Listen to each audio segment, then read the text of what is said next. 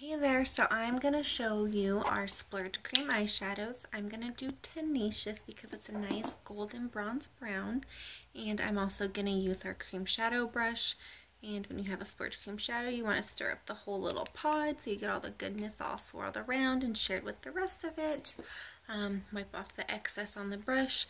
I love Splurge Cream eyeshadow because it's super easy to use, quick, and it lasts forever. It's crease free. It's super pigmented. It is gorgeous. I just, I can't, ugh, it's just amazing.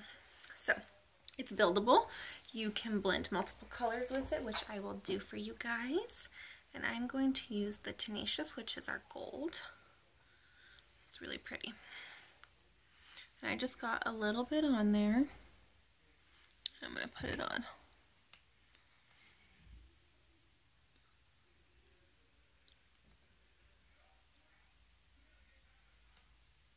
When putting it on, you want to like kind of pat it.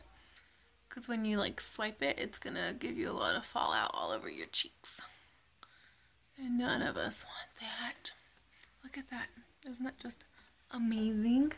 And so that was super easy to apply. So um, that was our Tenacious. I am to also do um, Elegant, which is our little bit of a lighter color. And I am going to put it on my other eye. Same thing, stir up the pot, and then I'm going to pat, pat, pat, pat it on.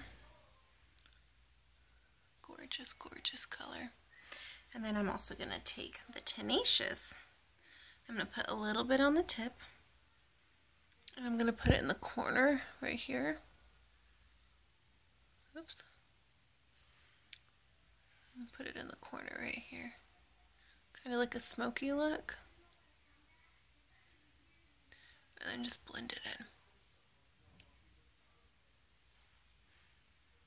And there we go.